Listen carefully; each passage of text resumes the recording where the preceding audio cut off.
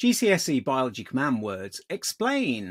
Explain. Students should make something clear or state the reason for something happening, or what I like to say, give a biological reason why something has happened.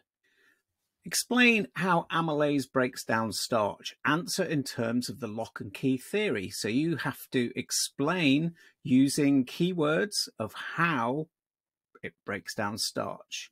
So obviously the starch binds to the active site.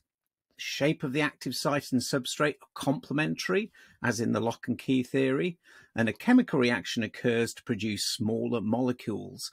Second example, explain how the structure of an artery is related to its function. So you have to talk about the structure and its function for the two marks. And there are different answers to this question. Top one, thick walls. Why are they thick walls? Well, to push the blood around, or you could say to withstand the high pressure. But there are other answers, so you need to remember that with explain. There could be several answers you could use. You only need to use one answer to get the two marks. Hope you found that useful. See you soon.